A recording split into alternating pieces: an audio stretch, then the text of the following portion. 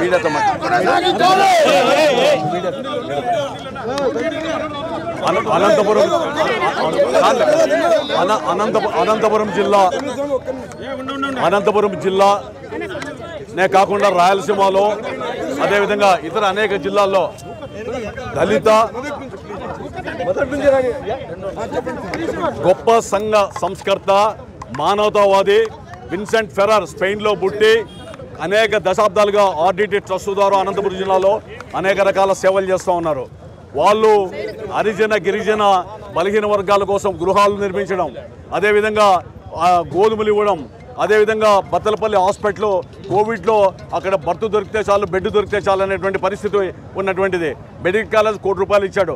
వాళ్ళు నిరంతరం అణగారిన వర్గాల్లో మురికివాడల్లో సైతం వాళ్ళు నిరంతరం ఆరోగ్యం కానీ వైద్యం కానీ రకరకాల విద్యలో కానీ సేవ చేసి కోట్లాది రూపాయలు సమాంతరంగా ప్రభుత్వానికి అనంతపురం జిల్లాలో పనిచేసేటువంటి ఆ మహోన్నత వ్యక్తిగా వ్యక్తిత్వాన్ని మేమంతా కూడా గమనించి ఆ యొక్క మహోన్నత వ్యక్తికి మానవతావాదికి అనంతపురంలో కలెక్టర్ ఆఫీస్ ముందర అవే స్వచ్ఛంద సంస్థ ద్వారా చిల్లి గవ్వ ఎవరితో డొనేషన్ తీసుకోకుండా మేము రెండు వేల నాలుగు ఐదు సంవత్సరాల్లో ఆ విగ్రహాన్ని పెట్టాం.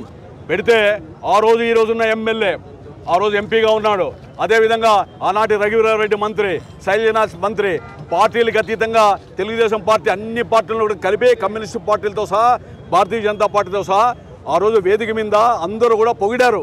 పొగిడి పెద్ద బహిరంగ సభ జరిపాం. విగ్రహాన్ని ఆ రోజు ఆవిష్కరించాం. చేసిన తర్వాత రోడ్డు వైండింగ్ పేరుతో విన్సెంట్ ఫెర్రర్ గారి విగ్రహాన్ని తొలగించారు. మేము అడిగాం ఏ నిబంధనల ప్రకారం తొలగించారంటే నేషనల్ హైవే దీనివల్ల కొన్ని నిబంధనలు ఉన్నాయంటే సరే అని ఆ నిబంధనల ప్రకారం లెటర్లు పెట్టిన తర్వాత అరవై అడుగులు అరవై ఐదు మీటర్లు తర్వాత పెట్టుకోండి అని చెప్పారు. అన్ని పర్మిషన్స్ కూడా తీసుకొని కలెక్టర్తో కానీ పదే పదే పదే అధికారులు కానీ అక్కడ విజిట్ చేసి ఒప్పుకున్న తర్వాత రాజకీయాలకు అతీతమైన ఈ మహోన్నత వ్యక్తి యొక్క వ్యక్తిత్వాన్ని అయినా గమనించి మనం పది మందికి ఉపయోగపడే వ్యక్తిని పెడితే మంచిదని చెప్పి ప్రాధాయపడడం జరిగింది. అధికారులంతా కూడా రివ్యూలో డిసిషన్ తీసుకొని విగ్రహం పెట్ట పెడదామని చెప్పి నిర్ణయానికి వచ్చామని చెప్పారు.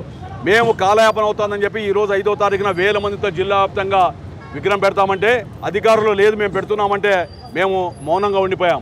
ఈరోజు దళిత సంఘాలు పోయి అక్కడ భూమి పూజ చేసి పెట్టుకుంటారంటే పెట్టుకోమని చెప్పాను. కానీ ఈ పోలీసులు వచ్చి అధికారులు రాజకీయ నాయకులంతా వచ్చి నిర్బంధించుతున్నారంటే నేను అక్కడ రావడం నన్ను అరెస్ట్ చేసి పోలీస్ తీసుకొని వచ్చారు.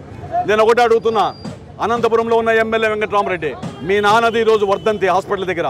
మీ నాన్న ఏ దేశ నాయకుడు ఏ స్వాతంత్ర పోరాటం చేశాడు ఈ జిల్లాకి రాష్ట్రానికి దేశానికి ఏం చేశాడు మా తండ్రి అడగంలా ఆయన మీ మీ నీకు సొంత ఫాదరు. కానీ ఈ యొక్క విన్సెంట్ ఫెరర్ జిల్లాకు ఫాదర్ రాష్ట్రానికి ఫాదర్ దేశానికి ఫాదర్ అంటే అనేక రకాలుగా ఎంతోమంది అనగారిన వర్గాలకు ఫాదరు.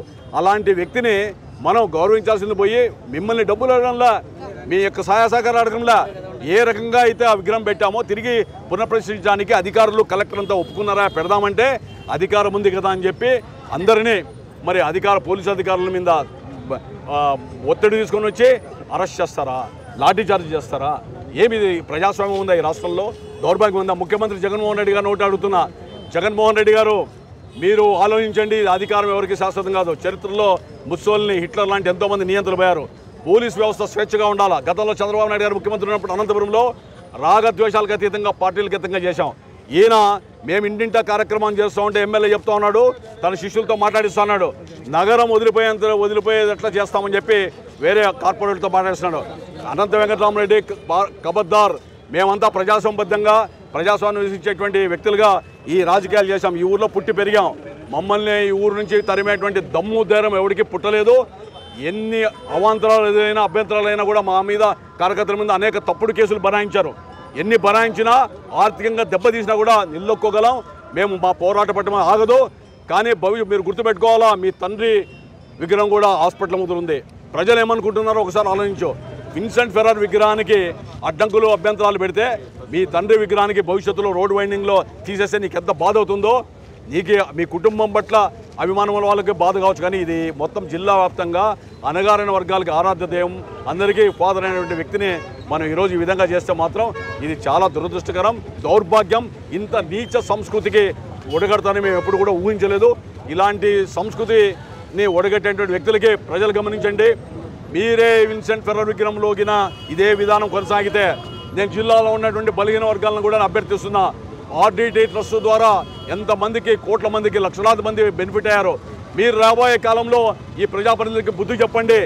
మంచిని పెంచుదాం చెడుని తుంచుదాం కానీ ఈ విధంగా చేసేటువంటి ఈ వ్యక్తుల యొక్క అరాచకాన్ని అనాగరిక చర్యల్ని నిరంకుశత్వాన్ని మీరు గమనించండి. రాబోయే కాలంలో ప్రయాసబద్ధంగా చూడండి. ఇప్పుడే పోలీసు అధికారులు చెప్పారు. మేము మాట్లాడుతున్నాం. సాయంకాలం లోపల మీకు డేట్ చెప్తాం. మేమే పెడతాం అధికారులని. అధికారులు మీరు పెట్టండి మా విగ్రహాన్ని. తర్వాత మాకేం అభ్యంతరం లేదు మేము రాజకీయాలు చేసుకోవాలని ఒకవేళ ఈరోజు రోజు వేయకపోతే వాళ్ళు డేట్ చెప్పకపోతే పన్నెండో తారీఖు లేదా పదహైదో తారీఖున వేల మందితో ఇంకా మాటలకు మేము మోసపోదలుచుకోలేదు. ఎంతమంది అరెస్ట్ చేస్తారో నరమేధం చేస్తారో రక్తపాతం చేస్తారో కలెక్టర్ ఆఫీస్ మీద నూటికి నూరు ఆరు నూరైనా నూరు ఆరైనా కూడా విన్సెంట్ ఫెరర్ విగ్రహాన్ని పెట్టబోతున్నాం. నేను కమ్యూనిస్ట్ పార్టీలతో సహా భారతీయ జనతా పార్టీ అన్ని రాజకీయ పార్టీలను కూడా జనసేన అందరిని అప్పీల్ చేస్తున్నా. లోక్సత్తా ఎంఐఎం అందరూ కూడా దయచేసి మీరు ఆలోచించండి. వైఎస్ఆర్సీపీ ప్రజాపతిని కూడా మీరు ఆలోచించండి. ఈ యొక్క ఫెర్రర్కి మనం గౌరవం ఇవ్వకపోతే ఫెర్రర్ మానవతావాదిని మనం గౌరవించకపోతే మన పుట్టుగతులుండవు జిల్లాలో ప్రజలు కూడా అనావృష్టి జిల్లాకి అనేక దశాబ్దాలుగా పనిచేశాడు. మరి అలాంటి వ్యక్తిని గౌరవిద్దాం ఆదరిద్దాం. మనం ఇలాంటి మహోన్నతుల వ్యక్తుల యొక్క వ్యక్తిత్వాన్ని నిమిడం చేసేటువంటి కార్యక్రమాన్ని మనం తిరిగి పునఃప్రతిష్ఠ చేయడానికి అందరూ కలిసి రండి ఎవరైతే రారో వాళ్ళు కాలగమనంలో కలిసిపోతారని చెప్పి కూడా చరిత్రహీన Kijk nou!